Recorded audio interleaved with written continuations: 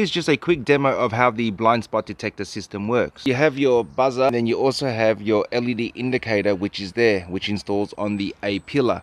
And then you have your sensor under my tail light right there. Here I simply have the trigger line connected to a 12 volt power supply. The trigger wire will connect to your indicator, whether you use the rear indicator or the front indicator. When you go to indicate, you give power to trigger the system. Once a car approaches, it will sound as well as show you an LED indicator. So if you did not have it plugged in, all you would get is just the LED warning, but you would not get the buzzer sound. I'm gonna disconnect that.